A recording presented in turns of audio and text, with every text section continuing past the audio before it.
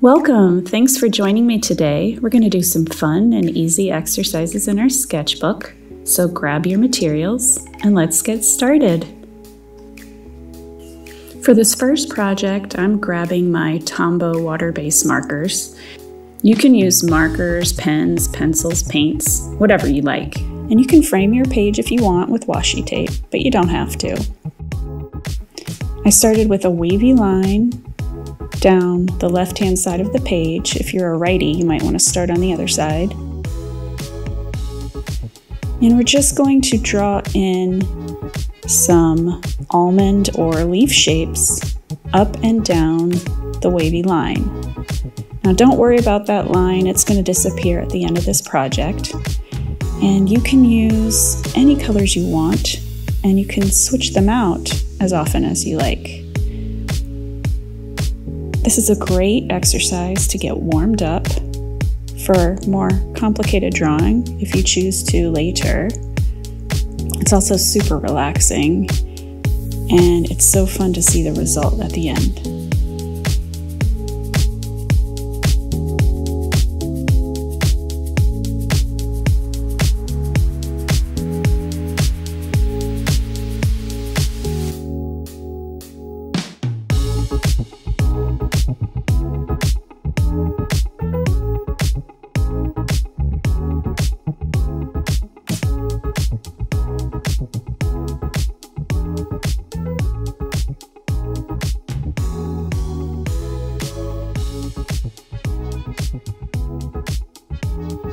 The next line, you can choose any position you want and as much wave as you want. I decided to go pretty close to my first line, and really it's just a guide for your vine leaves going up and down the page. There is no need to be perfect here with your vines. You can see some of my vines are closer to some than others. This is a sketchbook and it's just to have fun and relax.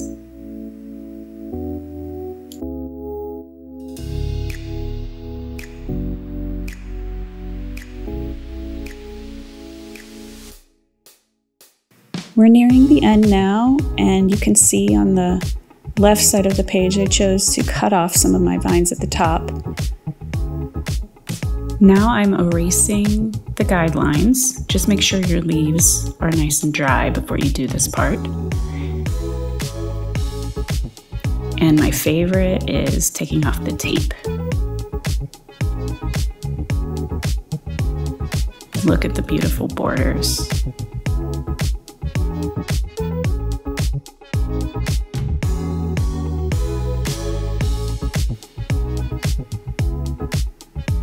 Here we are, finished piece.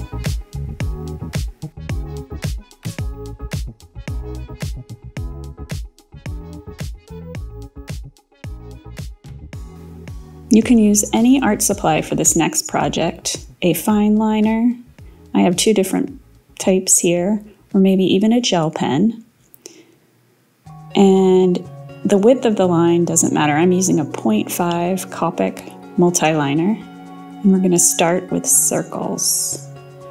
If you don't like to freehand circles, just grab something round on your desk and trace around. They can be the same size, but I wanted to make lots of different size circles. And as you can see, they're going to be sunshines. Now what's fun about these suns is they have all different rays coming off of them. I'm not sure why, but I'm always so satisfied when I finish these suns and I see all these rays that I filled in.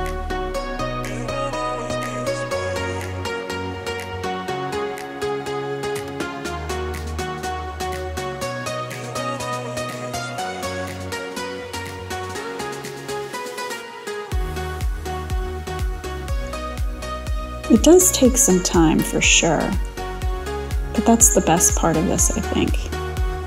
And in my eyes, the wonkier, the better. Just wait till the end. Here's a little trick I learned just in case you're having trouble with the rays. Put a small dot in the center of your sun and some guidelines. Your rays want to point towards the center, the very center of the sun. And here I'm doing a really simple circle with really tiny little rays.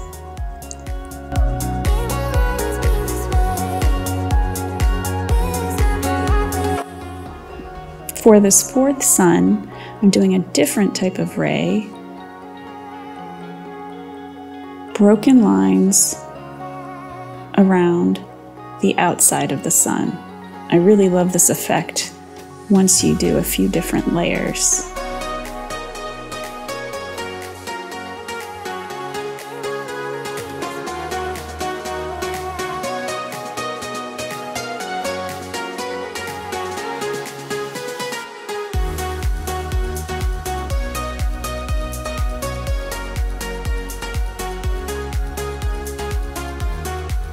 We're going traditional with this sunshine and doing simple straight lines all around the sides.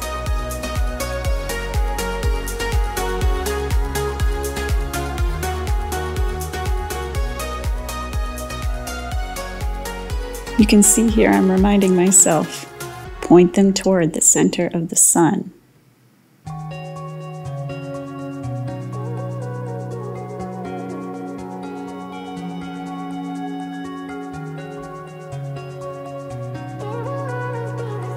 This big sun right here ended up being a little wonky, which I love. Not quite perfect. I'm not quite perfect. I'm not sure I know anybody who is. And we're going to do long, skinny rays.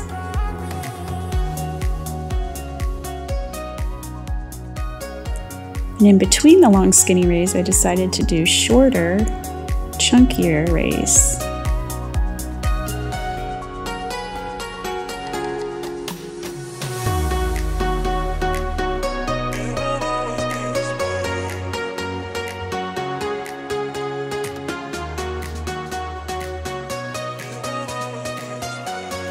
To create a sense of unity on this page, I wanted to match the rest of these suns with suns that I've already created. So this little guy has long rectangular rays, just like the big one on the left.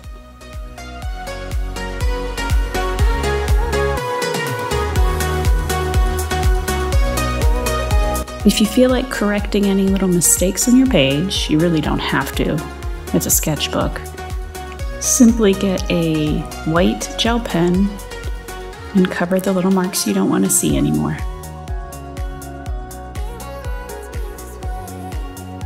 I also wanted to fill in the empty white spaces. And instead of doing more suns, I chose to do puffy clouds.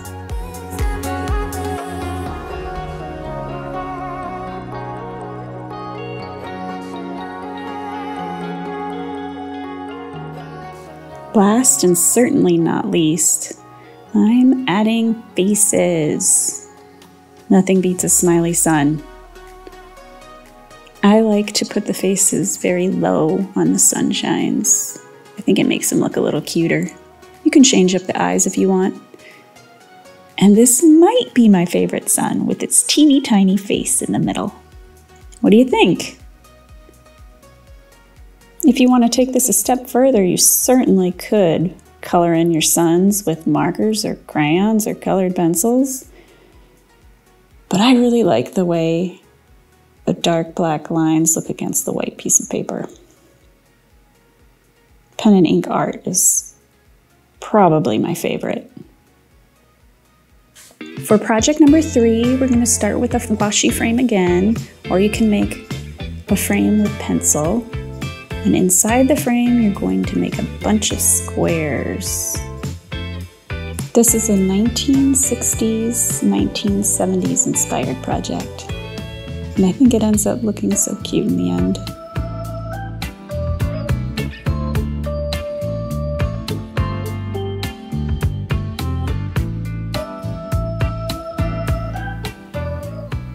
I chose a set of colors And I chose shades of colors. You'll see in a minute.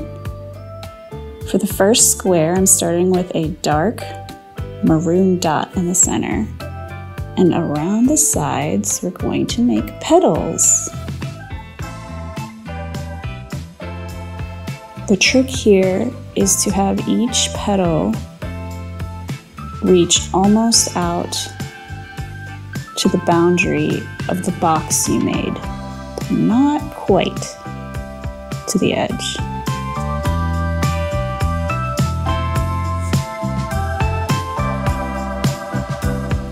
You can pick any colors you want. I chose two shades of pink. And for the next flower you'll see in a minute, I chose the color purple.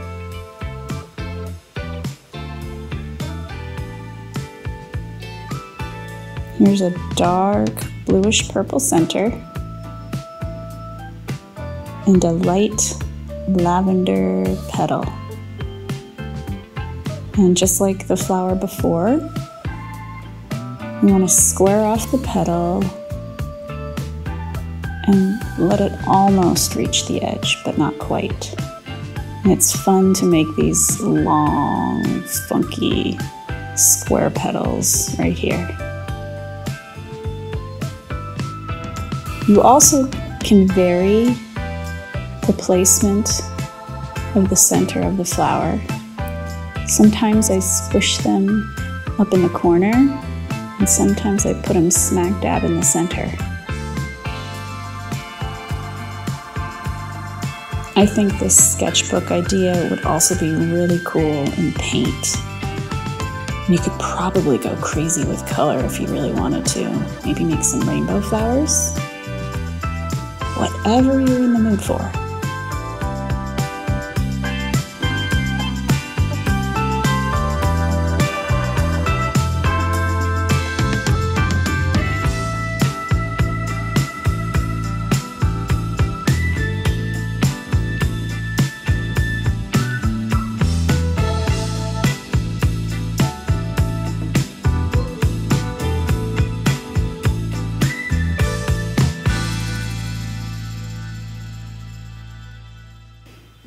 Fill up all these little squares with flowers, but I decided to write something in the middle.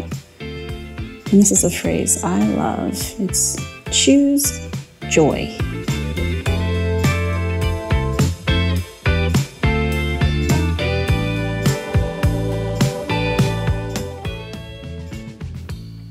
This is actually the first time I've ever created flowers like this, and I just love how it turned out makes me happy. I can't wait to do some more.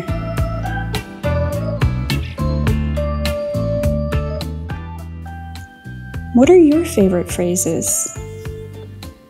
If you decide to make this one, I'd love to hear what you chose for the middle.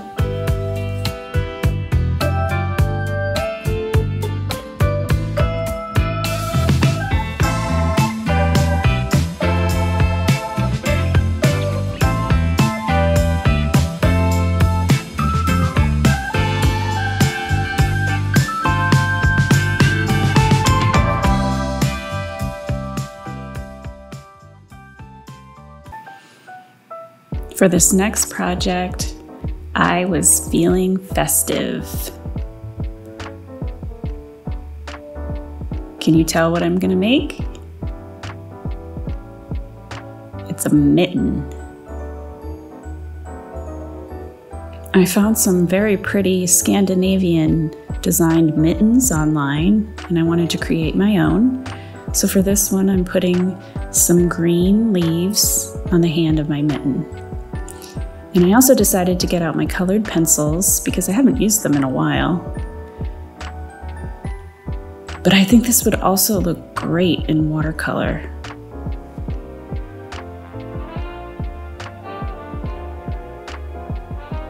Drawing cozy clothes always makes me feel good in the winter, and there's so many different designs you can do. And there's so many different articles of clothing you can do scarves, hats. Maybe one day I'll even try boots.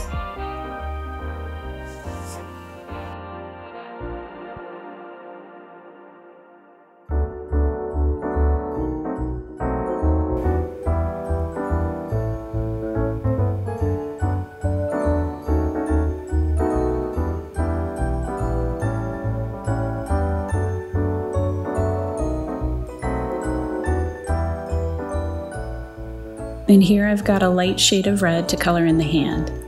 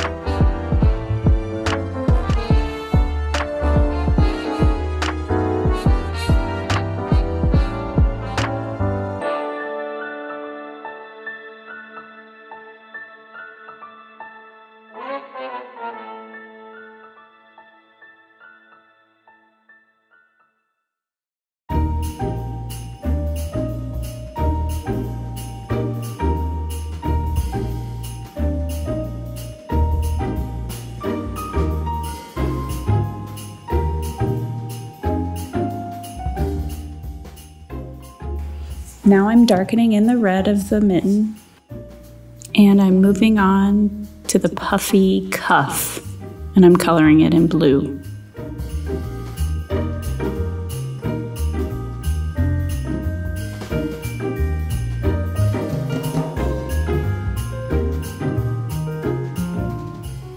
I wish I had fun colored mittens. Do you have any fun colored mittens? I only have gloves and they're black and kind of boring.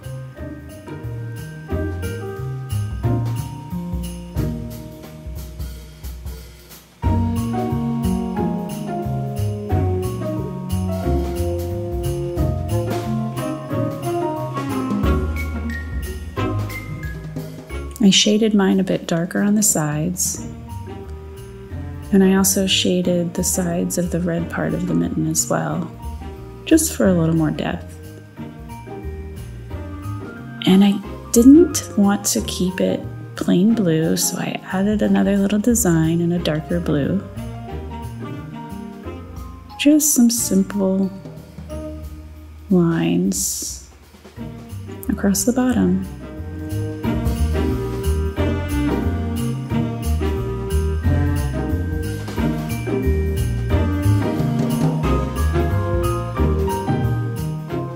And for a little extra, I added some darker red dots to the hand of the mitten.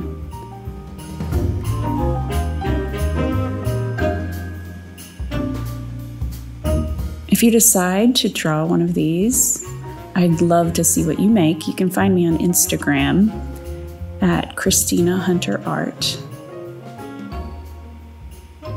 And if you don't mind, I'd love to share it to my stories if you decide to do one of these just let me know in the comments below. And whenever I see a drawing of fun mittens, I always see a string that attaches them together. I don't think I've ever seen this in person either, but it definitely adds something to the picture.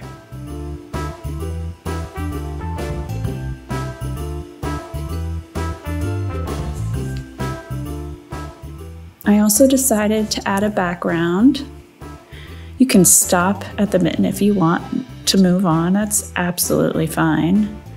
I chose a silver color and I made a square around it. And then I added some snowflakes, some really simple ones. They almost look like stars.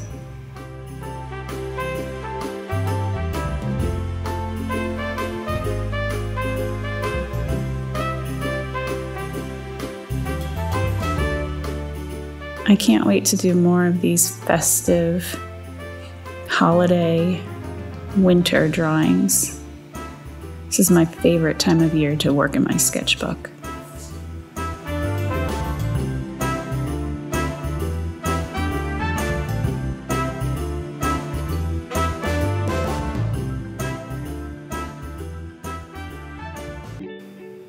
This next project was probably the most fun to create.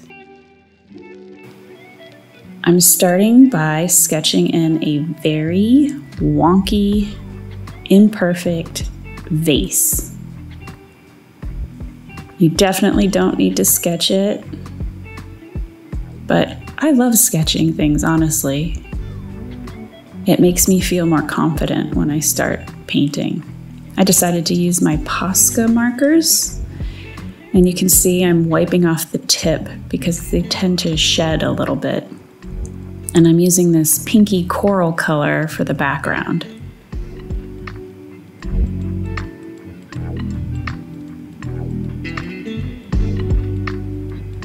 I really love working with Posca markers.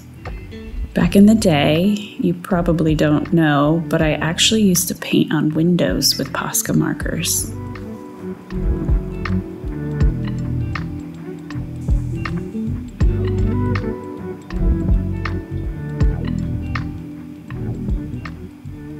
Here are the handles of the vase. And I'll tell you right now, this vase ends up kind of ugly. And I think that's why it was my favorite. I went online and I looked at some other vases for my inspiration, and I decided to just have fun and take risks.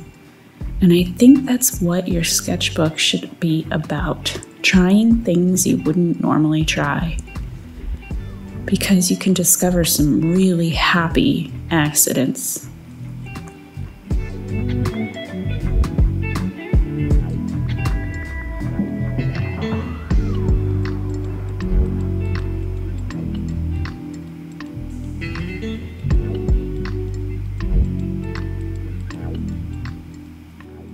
The top of the vase, I chose a dark navy blue color.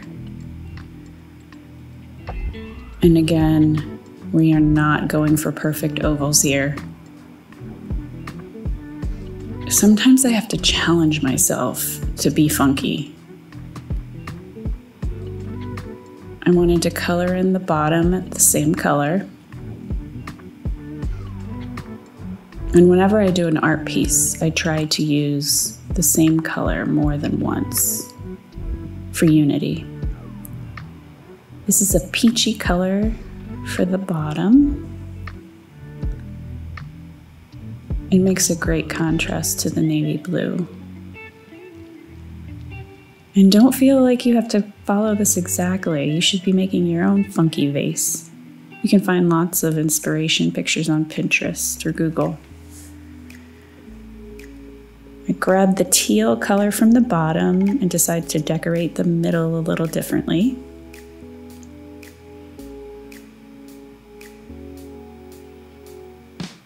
And yeah, I struggled being imperfect, but luckily it turned out pretty imperfect, just like I wanted.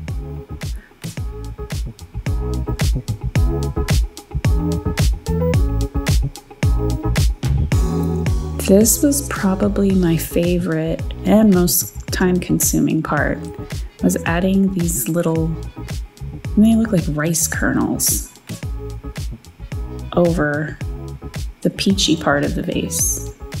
Just make sure the peach part is nice and dry. It doesn't take long. There was a lot of scrubbing of the tip of the marker on a scratch piece of paper that you won't see See over there on the side? It's just the nature of Posca markers.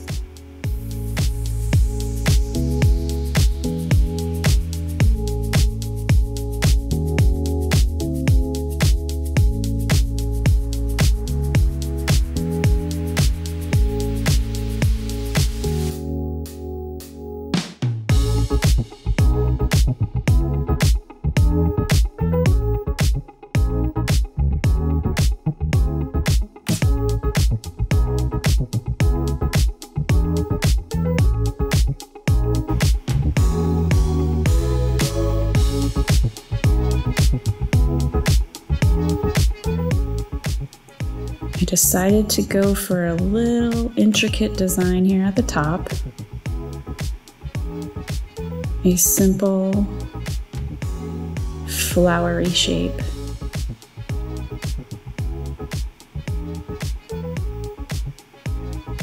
I started with the petals on the top and sides, and then you'll see I fill in the corners as well.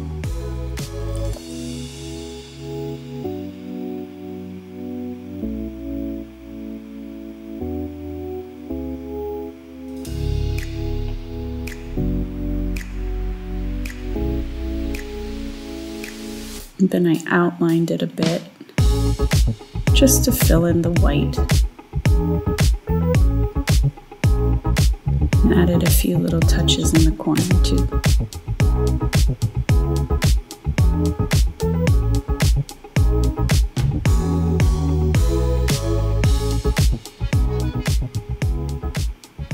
The center was feeling a little empty, so I started with this design and then changed it completely.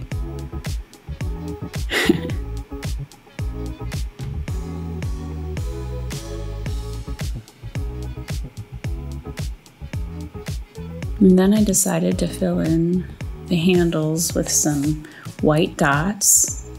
I felt like in this piece of art, texture was my friend. The more texture, the better. This is where I decided to go a little crazy, so I took the brightest red marker I could find and I filled in the bottom with red dots.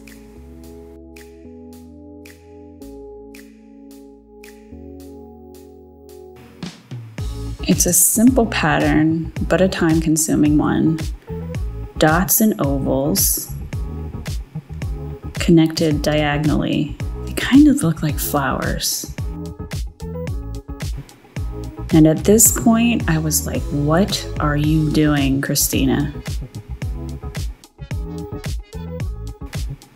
Oop, fixing a mistake. And because I like to use colors more than once, I filled in the white space up here with that crazy wild red.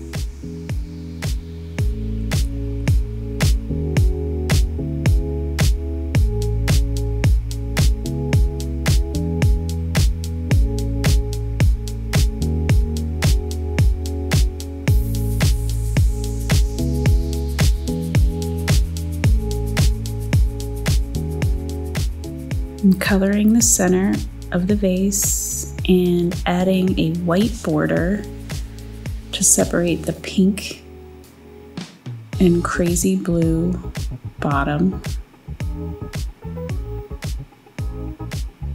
And more dots. Like I said, texture is your friend.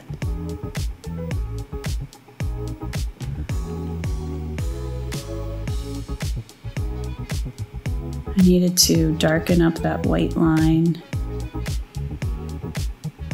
And here I am thinking that I'm finished, but I'm not. I smudged a little of my marker because it was wet when I peeled off the tape. So I went ahead and fixed it. It's really easy to fix Posca marker since it's acrylic and it dries so quickly. And then I thought, what the heck? Let's throw in some more dots. You can never have too many dots.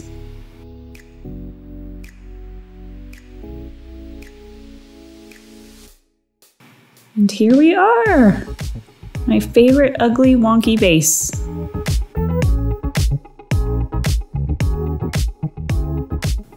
Thanks for joining me today. I had so much fun creating in our sketchbooks together. Looking forward to the next one.